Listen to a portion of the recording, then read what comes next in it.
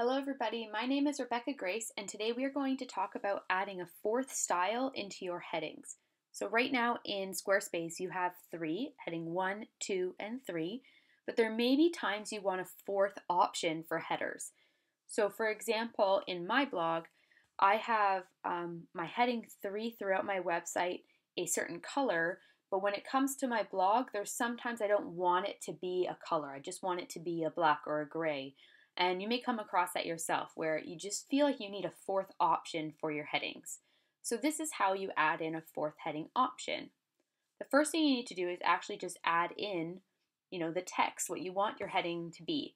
So I'm going to go to edit and wherever you want your fourth heading to be, you're going to insert a code block. Okay, so not a text block. We're going to scroll down to more and we're going to insert a code block.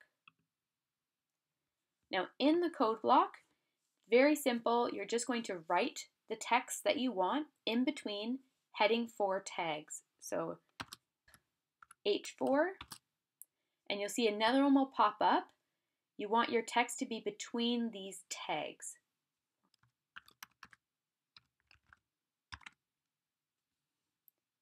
Click apply.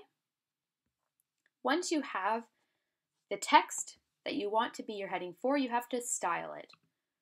So what you're going to do is first go into Design, Site Styles,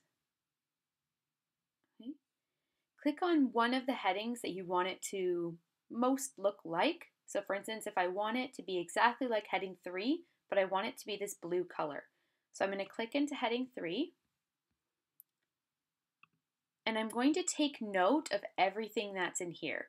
So this is the font family name, the font weight, the size, the spacing, if it's uppercase, lowercase, or none, the height.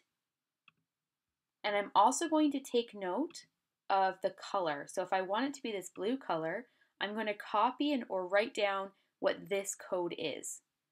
So once you know what you want it to be styled like exactly, you're going to go into design down to custom CSS and you're going to copy and paste the following code. Okay, and you'll notice it's popped up, it looks exactly like my heading 3, but it's this blue color. And this is how I did that. I took each of those things I noted down and changed or altered this to match. So the, I put the font family name in here. You do have to add this part, and that is the font type. So you may have to Google your font family name and see whether it is a serif, sans serif, monospace, whatever the type is, and that goes here.